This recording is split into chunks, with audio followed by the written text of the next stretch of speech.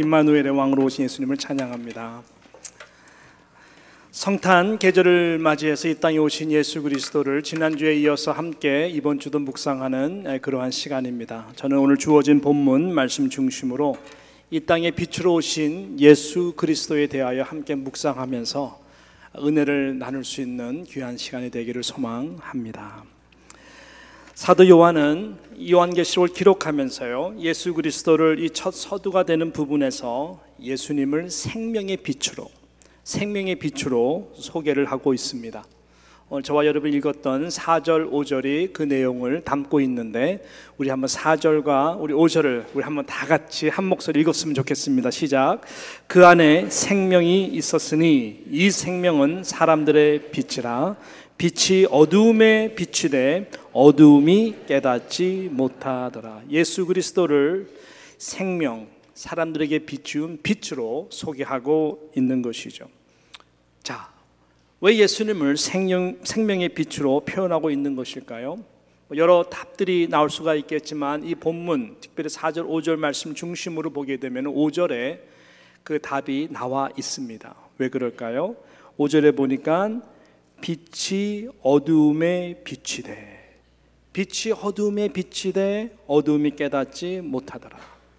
즉 어두움 때문에 어두움 때문에 빛이 없어 그리스도의 생명이 꼭 필요로 하는 바로 그 어두움 때문에 우리 주님이 이 땅에 생명의 빛으로 오셨다라고 하는 것이죠. 여러분 어둠이라는 것은 어둠의 세력들로 인해 어두워진 영역들을 말합니다. 크게 보면 죄이죠. 죄의 영역들이 어둠의 세력에, 세력에 의해서 이루어진 영역입니다. 강력한 영역이죠.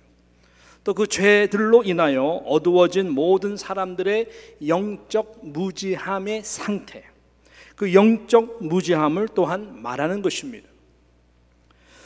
또 그 결과 저들의 발걸음은 영적 무지함 때문에 모든 인생의 방향을 다 잃어버렸습니다.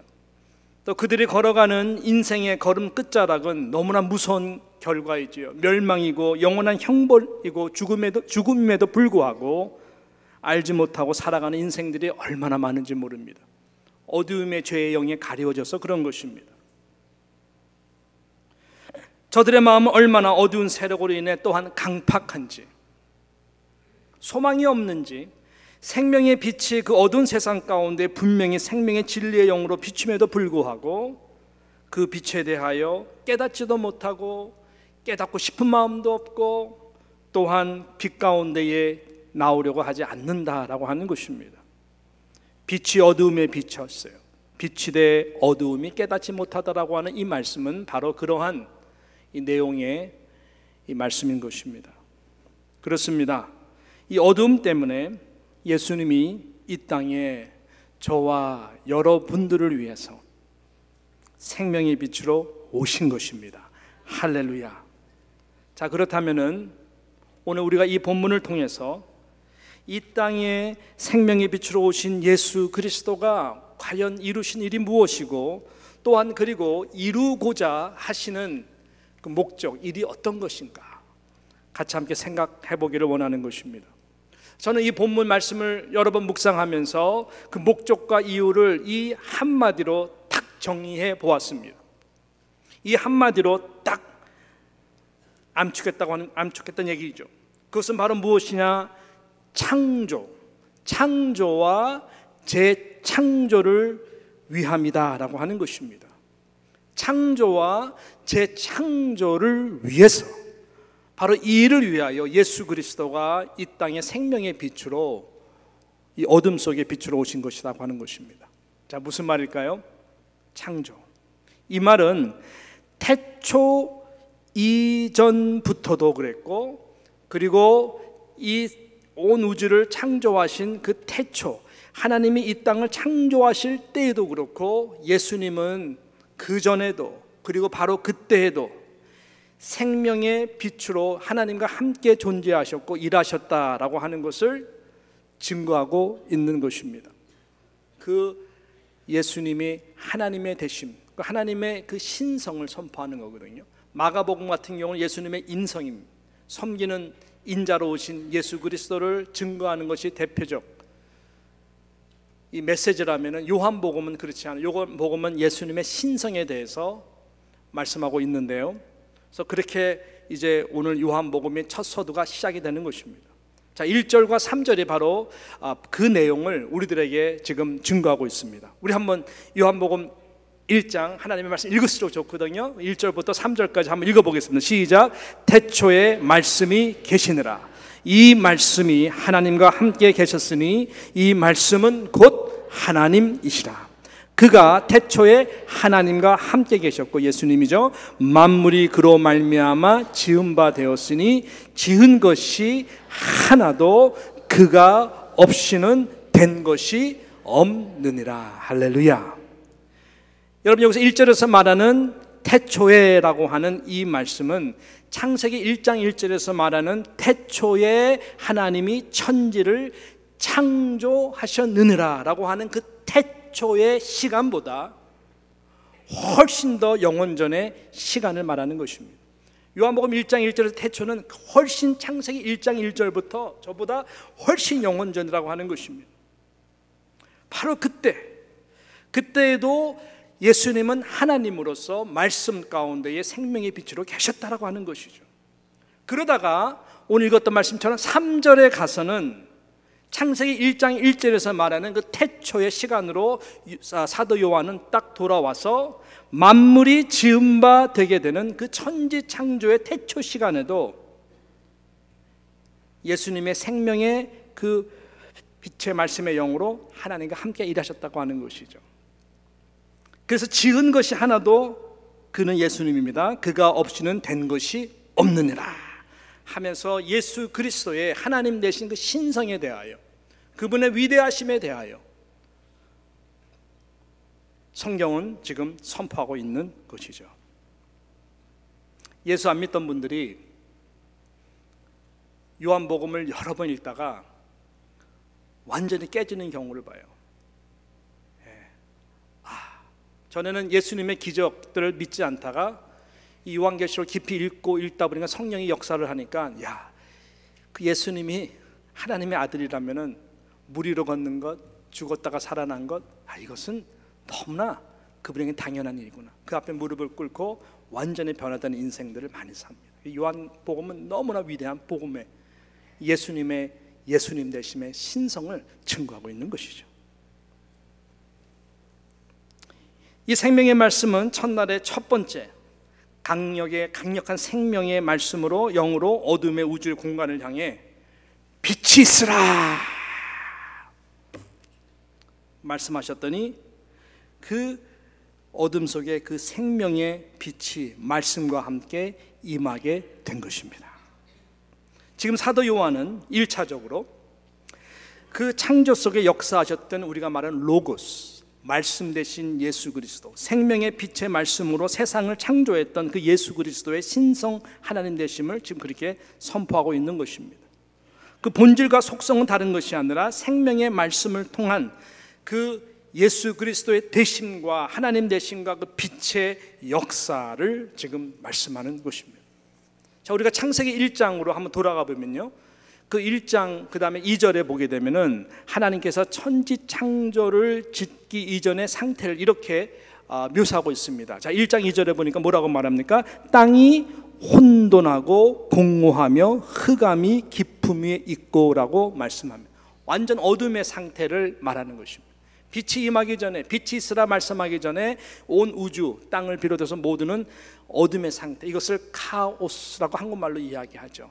영어로 보게 되면 이것을 케이아스라고 말합니다. 케이아스의 상태, 카오스의 상태, 즉 혼란과 무질서의 상태를 말하는 것입니다. 그 무질서, 혼돈의 공허함에 완전히 그 어둠 자체만 있는 그 공간을 향해서 예수님이 생명의 빛의 말씀으로 빛이 있으라. 빛이 있으라 빛이 있으라. 저는 우주가 얼마나 넓은지 모르겠지만 빛이 있으라 빛이 있으라 파생되는 그 말로 빛이 있으라. 했더니요 그 선포되는 순간 모든 혼란과 무질서와 공허함 가운데에 모든 것에 질서가 생겨난 거예요. 그 공허, 공허함 속의 의미와 내용이 생겨지게 되는 거죠. 깊은 흑암 속에 빛과 밝음의 밝음이 생겨. 놀라운 것은 빛과 어둠이 섞이는 것이 아니라 빛과 어두움이 탁 질서 있게 역할을 하며 갈라지게 되는. 즉 카오스의 이 무질서의 혼돈과 어두움의 세계가 아름다운 우주라고 하는 코스모스, 카오스에서 코스모스가 되는 이런 우주적 창조적 질서가 나타나게 된 것입니다. 할렐루야. 예. 예수님의 말씀이요. 이렇게 온 우주 공간을 뚫고 가는 온 우주가 그냥 존재하는 것 절대로 그렇지 않아요. 빛이 있으라 하신 다음에 그 빛 가운데 모든 것 우주가 질서적으로 돌아가는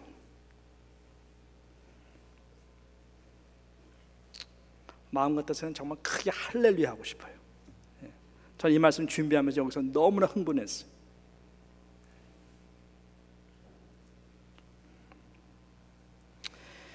이것이 바로 태초의 생명에 비친 예수 그리스도의 말씀의 창조 역사가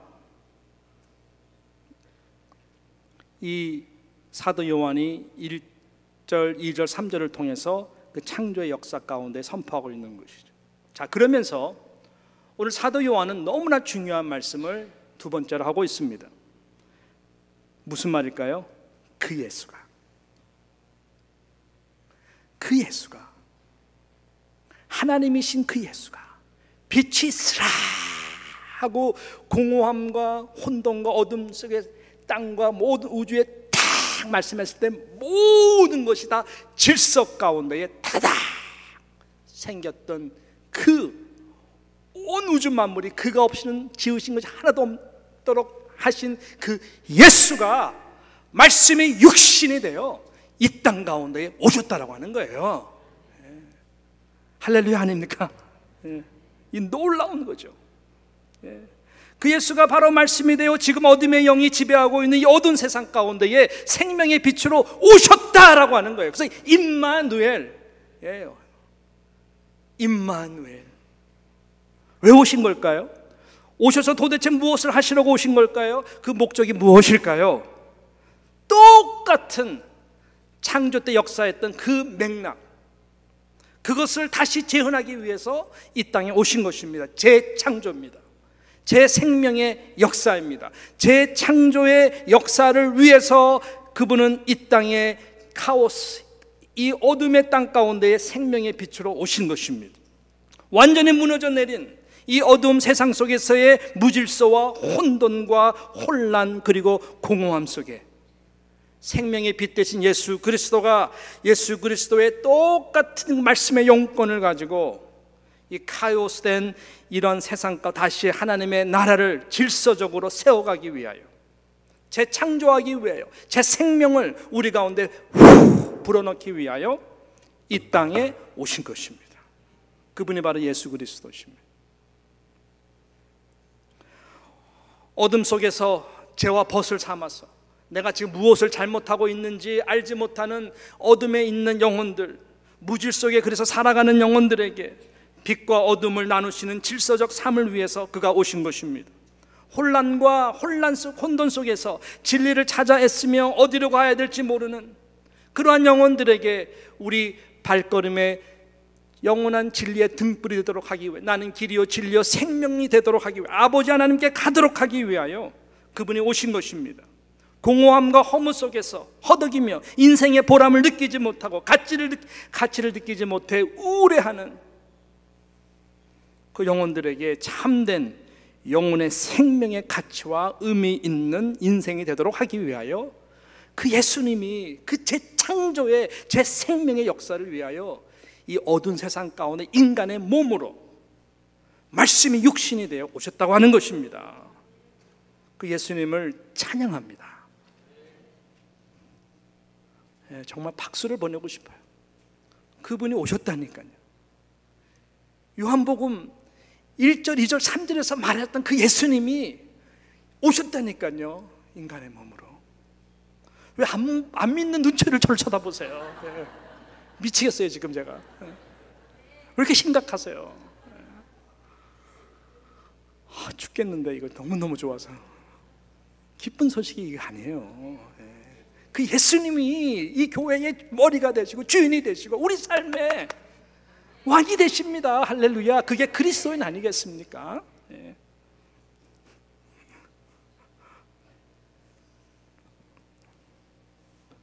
아, 기가 막힌 소식이에요. 우리 모두는 이 어두운 세상 속에서 이 빛으로 오신 예수 그리스도를 인격적으로 그래서 만나야 되는 것이죠. 그래야 BC, Before Christ, 우리의 역사는 바뀌게 됩니다. 어둠과 혼돈의 카오스의 BC 삶에서 AD, 우리 주님이 통치하시고 다스리시는 제 창조의 보람 있는 가치 있는 의미 있는 인생을 살 수가 있는 것이죠. BC와 AD를 가르는 것은 바로 그 생명의 빛 대신 예수 그리스도를 내 마음속에 비치게 하느냐. 제가 거듭 말씀드렸지만 저는 14살, 14살 사이 미국에 왔어요. 혼돈 속에 살았습니다. 공허함 속에 살았습니다. 위축되어 살았습니다. 정말 외롭게 살았습니다. 바로 2년 후에 저희 아버님이 돌아가시고 의지할 곳이 없었습니다. 어려운 삶 속에서 무엇이 내 인생에 참된 의미가 되고 가치가 있는 삶인지 어렸을 때 신앙은 저에게 도움이 되지 않았고 영적으로 무지한 가운데에 말 그대로 카오스와 같은 혼돈 속에 살았던 것을 저는 기억합니다. 그 시간들은 마치 그래요. 영적 무지함, 무질서 속에 살았던 시간이었어.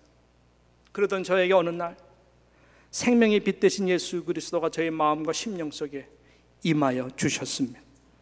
정말로 황홀하고 놀라운 변화의 시작의 시간인 것을 너무나 확연하게 기억을 합니다. 보라 이전 것은 지나갔으니 새 것이 되었도다. 저의 삶은 제 창조의 하나님의 말씀에 의해 빚어지기 시작했습니다. 어둠이 자연스럽게 자연스럽게 물러가기 시작했습니다. 전에 즐기던 것, 뭐 천불을 주고 갖다 준다 할지라도 구역질 나서 싫었습니다. 어둠이 아닌 빛이 승리하는 삶을 조금씩 조금씩 경험하게 되었습니다. 삶에 분명히 어둠과 빛, BC와 AD로 가려지는 질서적 삶이 시작되었습니다. 처음으로 규모 있는 인생이 무엇인지를 알게 시작되었습니다.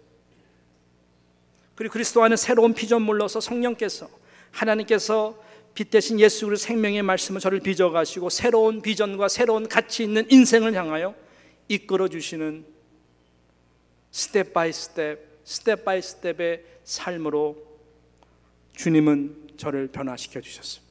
어디까지요? 적어도 지금 이 자리에서 여러분들에게 빛 대신 예수 그리스도를 증거할 수 있을 만큼 변화시켜 주셨어요. 기적이 아닐 수가 없어요. 이 세상 그 무엇이 이런 변화를 이런 변화된 인생을 살도록 만들 수 있을까요? 여러분 탁월한 교육의 시스템입니까? 많은 여러분의 손주들이 목숨을 거는 학원 선생님들입니까? 절대로 그렇지 않습니다. 여러분이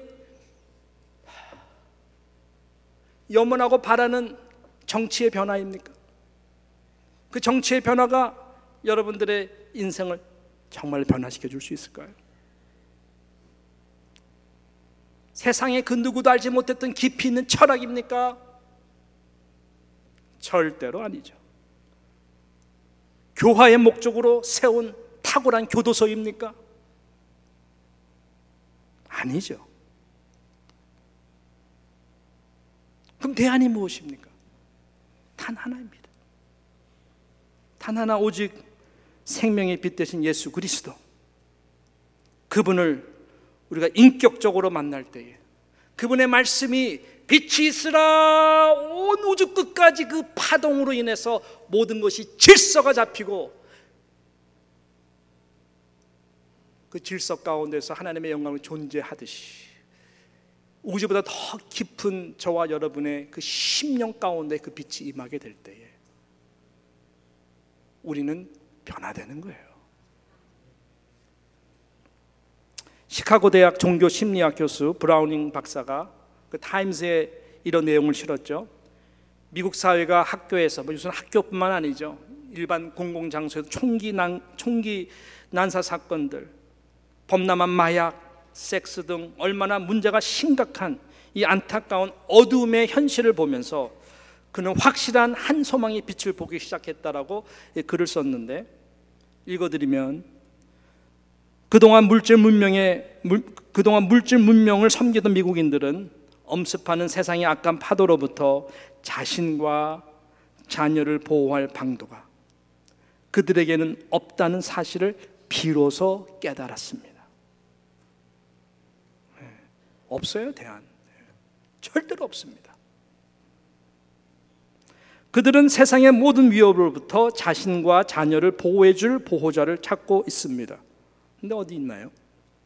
마약과 섹스, 그리고 폭력 등의 거대한 악으로부터 학교와 정부가 자식들을 더 이상 보호해 줄 수 없음을 알게 된 부모들이 다시 진정한 마음으로 찾아 나선 곳은 다른 곳이 아니라 교회였습니다. 예수의 생명이 꿈틀거리는 교회를 통해 우리 모두는 유일한 소망의 한 빛을 보았습니다. 거기서 아이들이 변화되는 것을 예수님을 만남으로 변화되는 것을 깨닫게 됐다라는. 그러므로 교회가 여러분 바로 이 세상의 유일한 소망이 되는 것입니다. 왜요? 예수 그리스도의 생명의 빛이 바로 교회를 통해 세상을 향해 비추기 때문입니다. 너희는 세상의 빛이라라고 하신 그 너희가 바로 교회이고 너희가 너희라고 하는 교회는 바로 성도된 저와 여러분이기 때문에 그렇습니다. 세상의 어두운 이유는 바로 저와 여러분 예수 그리스도의 그 빛을 비추기 위한 존재이고 그렇게 될 때 유일한 소망이 거기에만 있다라고 하는 것을 잊지 마시기를 부탁드립니다. 그래서 우리가 교회에 오는 거예요. 그래서 우리가 교회가 되는 거예요. 우리나라의 독립운동가 우리 백범 김구 선생의 그 유명한 말을 여러분 기억하실 것입니다. 경찰서 10개를 짓는 것보다 교회 하나를 세우는 것이 낫소. 적어도 그 시대에 이런 영권이 있었어요. 교회가 갖는. 교도소, 경찰서 10개를 세운들 사람 변화 못 시킨다는 거예요. 제대로 된 교회 하나 세우면 그리스도의 생명이 그 안에서 꿈틀꿈틀거리면 어떠한 죄인들도 생명이 빛된 예수를 만나면 비스에서 AD의 인생으로 다 바뀐다는 거예요.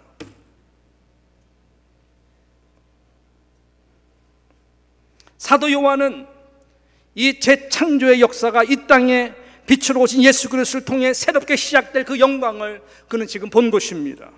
그래서 그는 7절, 8절, 9절 특별히 세례 요한이라고 하는 인물을 탁 등장시키면서 우리 모두가 세례 요한과 같이 이 빛에 대하여 증거하는 자가 되어야 된다라고 우리들에게 그 사명, 소명감을 지금 실어주고 있는 것이죠. 자, 7절, 8절, 9절을 우리 한번 한 목소리로 봤으면 좋겠어요. 시작. 저가 증거하러 왔은 세례 요한입니다. 곧 빛에 대하여 증거하고 모든 사람으로 자기를 인하여 믿게 하려 함이라.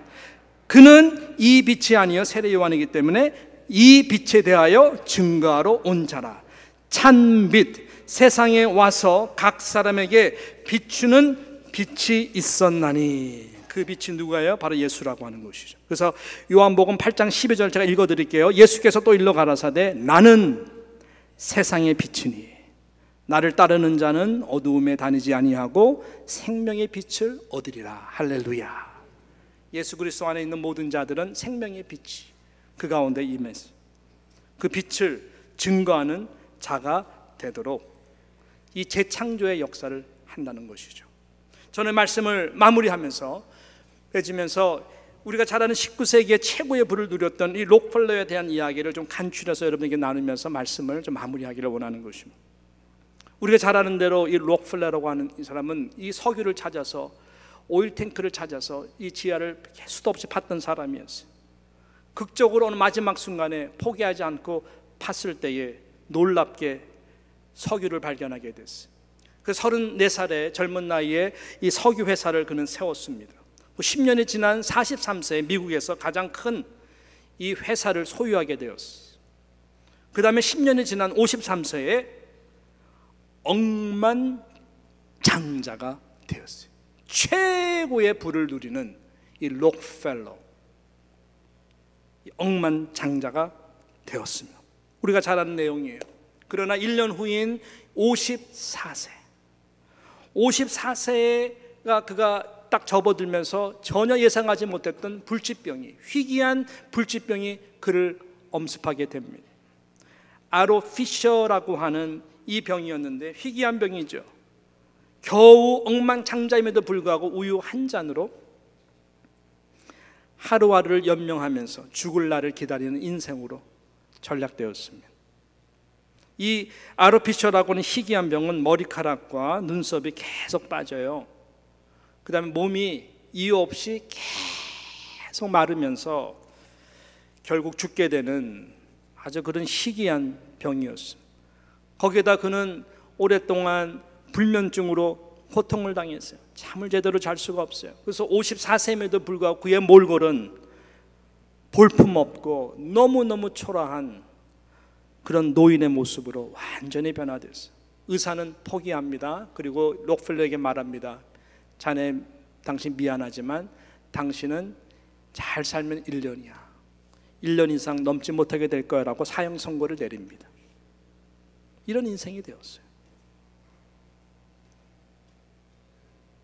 그러던 그에게 그 마지막 사형 선고의 의사한테 내리고 가장 우울하고 어둡고 정말 말 그대로 인생에 대해서 공허함과 혼돈과 그러한 이 어둠과 우울의 영이 지배했던 그 병원에서 나오면서 그는 한 문구를 보게 됩니다. 한 문구를 보게 되는데 그 문구가 이 록플러의 인생을 완전히 바꿔놔요. 말 그대로 어둠에서 생명의 빛으로 BC에서 A드로 가는 인생으로 완전히 바꾸는 그의 어둡고 우울한 그러한 공허한 영 가운데에 생명의 빛의 말씀이 들어온 것이죠. 그 말씀의 문구가 뭐였었는가? 주는 자가 받는 자보다 복이 있다. 라고 하신 예수님의 말씀이었어요. 지금 우리는 이 말씀 잘 압니다. 그쵸? 우리는 한 번도 이 말씀을 정말 이 말씀이 얼마나 능력 있는 말씀 실천해 본 사람들은 많이 없을 것입니다. 머리로는 알죠? 믿죠? 그렇지만 우리의 삶 자체가 그런 빛대진 주님께서 말씀하신 이 정말 깊이 있는 이 말씀에 그 기적적인 그 삶을 우리는 실은 잘 경험하지 못합니다. 근데 록벌러에게는 그날이 이 말씀이 생명의 빛으로 가슴에 들어온 거예요. 인생의 통찰력이 생긴 거예요. 여러분 빛된 인생이라는 건 다른 것이 아니라 인생의 진리의 말씀은 통찰력을 가지고 구별된 삶을 사는 것입니다. 그래서 그는 잠시 눈을 감고 깊이 삶을 조명해 봅니다. 어두움을 파헤치듯 그 파동하는 파생하는 주님의 그 말씀이 온갖 모든 삶을 다 빛과 어둠, 어둠과 빛으로 다 갈라놓습니다. 그러면서 하나씩 하나 질서가 잡히면서 그는 이런 생각에 몰두하게 됩니다. 아, 나는 왜 지금까지 받는 일에만 몰두하면서 살아왔는가? 모으는 일에만 몰두하면서 살았던 삶을 생각하고 회개를 하게 되었습니다. 많은 사람들에게는 기업가들에게는 그것이 당연한 거라고 생각했지만은 그날 받는 것보다 주는 자가 더 복이 있다는 생명의 그 빛의 말씀이 탁 진리로 들어오는 순간 모든 것이 다 질서가 잡히고 빛과 어둠이 갈라지게 돼. 그러면서 그는 이렇게 기도합니다. 하나님, 돈이 제일인 줄 알고 돈을 위해 저는 달려왔습니다. 그러나 이제 내 인생이 돈에 달려 있지 않는 것을 알았습니다. 하나님 돈이 나의 희망이 아닌 것을 압니다. 이제는 압니다. 주님, 내가 주님을 바라보고 주님을 내 마음에 모시기를 원합니다. 록펠러는 그 시간 예수님을 마음에 영접한 거예요. 결단을 했어요. 주님, 내가 얼마까지 살지 모르지만 주님이 나에게 생명을 주신다면 생명을 주시는 그 마지막 시간까지 이 말씀대로 살기를 원합니다. 그때부터 이 말씀이 생명의 진리의 빛이 그에게 다 시금석을 가르는 말씀이 되어서 그 말씀대로 살려고 합니다. 열심히 기도 생활했어요. 예배 자리에 항상 나왔어요. 말 그대로 10의 1조 저 하나님 앞에 충성스럽게 드리는 자가 되었어요. 그리고 신앙생활을 열심히 했습니다. 그의 인생은 달라지기 시작했습니다. 재창조의 새로운 빛 가운데 거하는 역사가 일어나기 시작했어요. 그래서 뉴욕의 Riverside Church라고 하는 유명한 교회를 세우고 뭐 그뿐만 아니죠. 록펠러 재단을 만들어서 가난한 자들을 돕는 의료 사역과 이 교육 사업에 그는 쏟아 붓기 시작합니다. 이 록펠러가 이룬 록펠러가 쏟아부은 이러한 재단을 통한 여러 가지 일들을 이야기하자면 한도 끝도 없는 것이죠. 뉴욕에 특별히 그분의 모든 록펠러 센터를 비롯해서 흔적들이 있습니다. 저도 한번 록펠러 센터를 한번 가본 적이 있는데 대단해요. 대단해요. 놀라운 것은 이러한 활동을 하면서 잘 먹기 시작했고 소화가 잘 되고 잠도 잘 자게 되었다고 하는 것입니다. 할렐루야. 의사들은 분명히 그에게 55세를 넘기지 못할 것이라고 했지만 그는 몇 살까지 살았죠? 98세까지. 그는 그렇게 살다가 하나님 앞에 갔습니다. 할렐루야.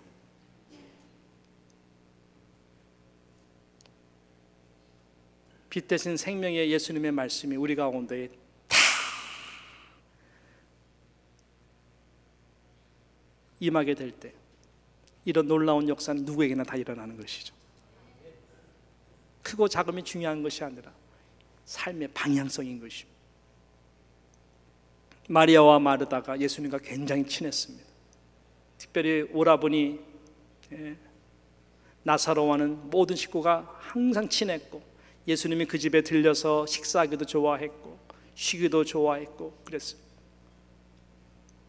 예수님 오기를 간청했지만 오지 못해서 오빠 오라버니 나사로가 죽게 되었습니다. 불평불만하는 예수님 당신이 일찍만 오셨더라도 우리 오라버니 나사로가 죽지 않았을 텐데 죽지 않았을 텐데 섭섭한 마음으로 예수님 가슴에 대고 마리아 마르다가 치면서 예수님 뭐라 그래요? 죽지 않았다. 잠자고 있는 것이다. 그래서 기가 막힌 말씀을 하시는데 그 무덤가를 향해서 뭐라 그러죠? 저 돌을 옮겨 놓으라. 가로막고 있는 그 돌을 옮겨 그래요. 여러분 그 동굴에 생명의 빛이 들어가면 나사로가 살아 나오거든요. 나왔고. 그러기 위해서는 우리가 할 수 있는 일이 뭐냐면요. 돌을 믿음으로 옮기는 거예요. 그 일은 우리 주님이 우리 보고 하라 그랬어요. 너무나 수많은 영혼들이 예수를 믿는다고 살면서 교회 다니는 살면서 이 마음의 돌을 푹 닫고 사는 사람들이 너무너무 많아요. 그 내면으로 들어가고 시작하면 뒷문으로 들어가기 시작하면 너무나 어두운 구석들이 얼마나 얼마나 많아서 왜 그렇게 살고 사는지 모르겠어요. 예. 주님이 이 시간 우리에게 말씀합니다. 돌을 옮겨 놓으라. 내가 문 밖에 서서 두드리노니 루아디아 교회에게 향하신 그 말씀과 같이 우리가 이 마음의 문을 열기만 하면 그대로 창세 전부터 또 창세 가운데 역사하셨던 이 땅에 육신의 몸으로 오셔서 우리에게 말씀의 영광으로 함께 해주셨던 그 예수 그리스도의 생명의 빛의 말씀이 환하게 들어오게 되면은 우리는 BC의 인생이 아니라 AD의 인생을 살게 되어 있는 것입니다. 그래서 우리 모두에게는 어떤 삶이 필요합니까? 이 14절에 있는 말씀, 말씀이 육신이 돼요. 말씀이 육신이 돼요. 말씀이 육신이 돼요. 그 누가 보더라도 하나님의 말씀을 들을 때마다 하나님의 말씀을 우리가 묵상할 때마다 하나님의 말씀을 대할 때마다 이 하나님의 말씀이 우리 삶 가운데에 육신 가운데 가장 가까운 아내가 가장 가까운 자녀들이 가장 가까운 교우들이 가장 가까운 일터의 식구들이 어 저분 변해가네 어 저분 상당히 여유가 있어졌네 어 저분 뭔가 되게 평안해 보이네 어 저분의 입술에서 왜 이렇게 감사가 넘치지 어 저 사람 왜 뒷담 안 치지 다른 사람 막 욕하지 않지 어 저 사람 어 술자리 잘 안 가네 어 저 사람 어저 어, 사람 새벽기도 나가기 시작하네 등등서부터 말씀이 육신이 될 때에 하나님의 영광의 빛이 그 삶 가운데 임하게 되는 것입니다. 그 영광을 보니 아버지의 독생자의 영광입니다. 은혜와 진리가 충만하더라. 세상에 빛이 된다는 것은 어떤 일을 하기 전에 우리의 존재, 내면의 세계에서부터 주님의 빛을 막는 이 모든 것을 돌을 다 옮기고 생명의 빛이 들어옴으로 말미암아 우리 가운데 진리와 은혜 넘치는 그러한 존재가 될 때에 우리는 세상의 빛으로서 살아갈 수가 있는 것이죠. 이 놀라운 은혜와 변화가 정말 우리 가운데에 임하기를 간절히 소망하는 것이죠. 우리가 한 해를 돌아보면서 얼마나 하나님의 말씀이 여러분의 육신이 되었습니다.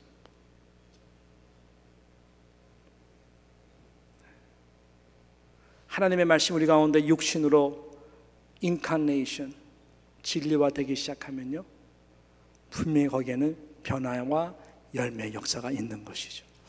바라기는 이러한 마음의 소망을 가지고 하나님이 나를 통해서 아직도 포기하지 아니하시고 우리 가정을 통해서 포기하지 아니하시고 우리 교를 통해서 포기하지 아니하시고 쓰시기 원하신 제 창조의 놀라운 이 AD의 삶을 우리 모두가 함께 이루어갈 수 있는 세상의 유일한 소망이 되고 빛이 될 수 있는 우리들의 존재와 삶 교회가 되기를 주님의 이름으로 축원하는 것입니다. 기도하겠습니다.